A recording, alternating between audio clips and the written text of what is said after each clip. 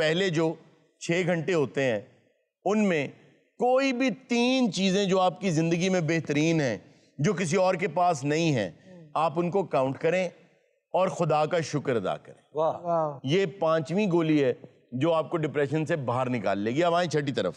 चीज़ ये है कि मुसलमान ईमानदार खुदा पर ईमान रखने वाला कभी बेचारा नहीं होता। हम वर्ड बेचारा यूज़ करते हैं ना। हाँ जी हाँ जी। कि उसका चारा ही कोई नहीं। चारा घर जिसका खुदा है वो कभी बेचारा नहीं हो सकता। बहुत अच्छा। आप खुदा से जो उम्मीद रखेंगे वो आपको वैसा ही मिलेगा। मिलेगा। खुदा से ये उम्मीद रखें कि तू मेरा चारा घर है। वाह। वाह। तू मेरा कारसाज है। और आखिरी चीज़ ये कि ये जान लें ये जान लें ये जान लें कि आप ज़िंदगी जितनी मर्ज़ी तंदुरुस्त गुजारें।